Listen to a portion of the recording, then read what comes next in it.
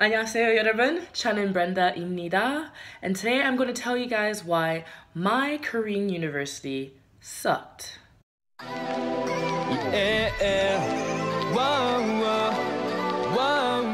It sucked, you guys. And here is why.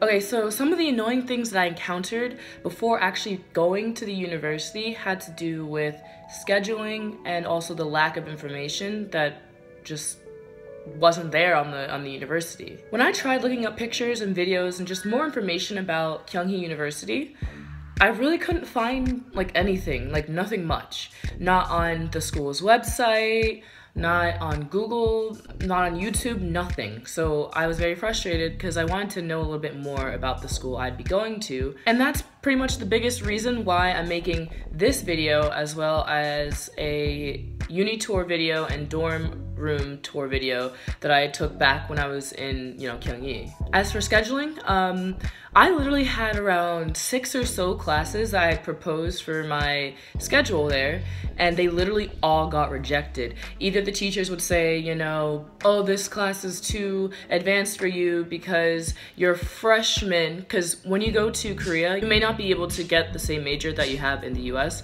As in my case, I couldn't choose the same major, so I, I chose something that was kind of similar, like it's decently similar, but like by me choosing this new major, I was classified as a freshman, and then I couldn't take upper level classes that I needed for my, my major back in the US. Also, the other reason why I couldn't take these classes is because online they would classify them as bilingual classes, but for whatever reason they would just change it to Korean. Like they they didn't really let any of us foreign students or exchange students know that these classes would not be bilingual or English or whatever. KHU, like Kyunghee, pretty much only left me with a few choices.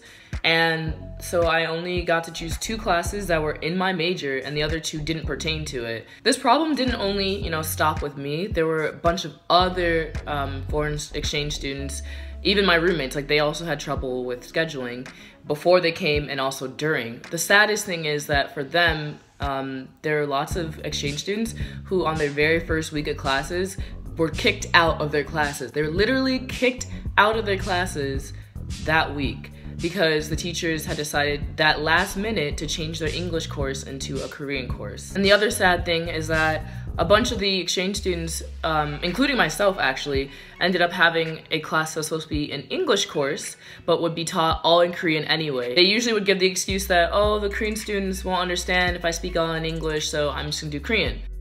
So here are some of the annoying things that I encountered while at the school. In the end, I did do well in all my classes, except except the only one that mattered, the only one that I actually needed. In this class, this teacher decided to not give us homework, no tests, and no exams, not even a midterm exam except for the final exam. So our only grades in that class were that was that final exam and a final project. Just pretty much those two grades. And you'd expect him to make the final exam like decently easy or at least, you know, understandable, doable. No. No. This teacher decided to not give us a study guide, not give us any hints or tips or advice on what information would be covered, and instead, pretty much all the information from the beginning of the semester was fair game for this test. So Moving on to the other class that I mentioned, I realized after the first um, class or the second class that my teacher wasn't going to be teaching the class in English and instead he was going to speak all in Korean despite having his class, cla his class classified as an English course. So I actually thought I should just drop the class. I actually like mentioned this to the teacher. I was like, I think I'm gonna drop this class because it's I don't need it. I've already taken it and I don't understand what's being said. And then he proceeded to lie to me, you guys. He lied to me. And he said that, you know, the class would be half in English and half in Korean, and that all the slides and notes um, and the tests would be in English. And I was like, mm, no thank you. Sadly, unfortunately, I couldn't find another class, and I had to take that class again. You know how, like, schools will give you, like, a week or something like that for when you can, like, drop classes and add classes? Well, the very next week of after the dropping classes segment like time was over, my teacher had failed on his promise. He did not teach half in English and half in Korean. No, he taught all in Korean. The one part of the of his promise that he did keep was that the slides were all in English. But, you guys, but these slides were not posted online. To clarify what may have been their reason, like the reason that teachers in Korea decide to teach an English course but then end up doing you know, like speaking in Korean anyway is I heard from a Korean friend that many Korean teachers choose to classify a course as an English course in order to bypass the um, restrictions that Korean classes usually have.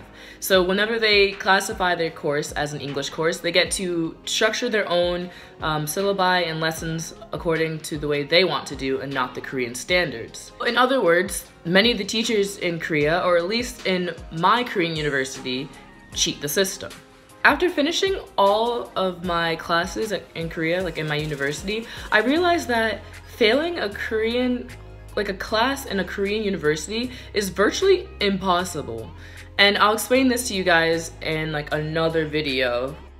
Okay, so another frustration that I faced while over at my Korean university is the management and the administration side of things. My university, Kyunghee University, the global university, the global university that should be well equipped, equipped for inter, international students and exchange students, was not well equipped for us. It was not suited for us at all. First of all, barely anyone in you know important positions and like managerial positions spoke de decent English. Like there's barely anyone. I remember um, for many of us exchange students, we had so much trouble, so much trouble trying to figure out our um, bank situation because many of us needed to open up bank accounts in order to, you know, spend money in Korea. But in general, we always had trouble with like those kinds of situations, important things like opening our bank accounts. And now for the, the social aspect of this, this rant or this video. I don't know what to call it. I'm, I'm, I'm sure I sound like I'm ranting and I am ranting. I, oh well. I heard this excuse from one of my Korean friends. They said that the Korean students at my school are not really good at English, mostly because they went to like high schools where they were geared towards more like scientific stuff and so when you're based in like the sciences you don't really learn much of the english like if you're doing maybe international relations or you know foreign language or whatever then you get taught english more often and like in a better better way or something.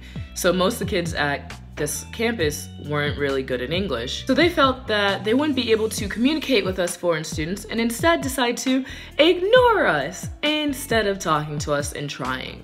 My foreign friends and I found this, like we, we, we viewed this as an excuse because it was an excuse. We had come to, you know, Korea and this university in order to, you know, to advance our studies, which didn't really happen for most of us, and also to, you know, meet Koreans, like become friends with Koreans and interact and, you know, learn about a new culture. And we couldn't because these students didn't give us the chance to. I do agree that like some of the exchange students that come to Korea don't actually learn Korean. Like they don't even know any Korean coming in and they don't really care to learn Korean. But there are people like me and a bunch of the others who did know like, you know, decent amount of Korean and would be able to communicate in Korean, like albeit maybe a little bit of a mixture of Korean and English, but we'd be able to communicate because I actually ended up making a few Korean friends and that's the way we communicated in English and Korean. So with all these Korean students not really, you know, trying to talk to us exchange students or like giving us the chance, many of us foreign students ended up being friends and good friends with the foreign students there. And yeah, that's pretty much the end of my rant. I could go on with this list of grievances as like a, a student at KHU, but those were the biggest ones and the most um, concerning ones that I wanted people to know about. But do keep in mind that this was just at my campus, at the global campus um, for Kyunghee, and it things could possibly be different at the Seoul campus. So, I mean, if you guys are looking into Kyunghee, I would probably point you more towards the Seoul campus if you can. I made this video to inform people who were thinking about coming to KHU and maybe just a Korean university in general, just to like take precaution and to research into the universities that you are thinking of going into because you need to know what the life will be like, how they'll deal with international students, if they have your classes, if they're in English or if they're in Korean, like all these different aspects because to be honest, for me, my academic part of my Korean semester, like my Korean stay, um, wasn't all that good. I still, don't get me wrong, I still loved my time in Korea. Like, I ended up finding out ways to like enjoy it more. Just like outside of school, I had so, so much fun. And even within school, I um, had my best friend, Lila, um, my roommate, and that's all I really needed. Even though this video may have you know, sounded really like horrible and it was a rant and all that and it make it, it made it seem like Korea was like a bad time for me. It really wasn't. Like I like Korea, my time in Korea was an amazing time. I highly recommend people like going to Korea. Like it's a beautiful country. There's there, you can find some really really really awesome people there and you can have a great time there. Anyway, that's the end of the video.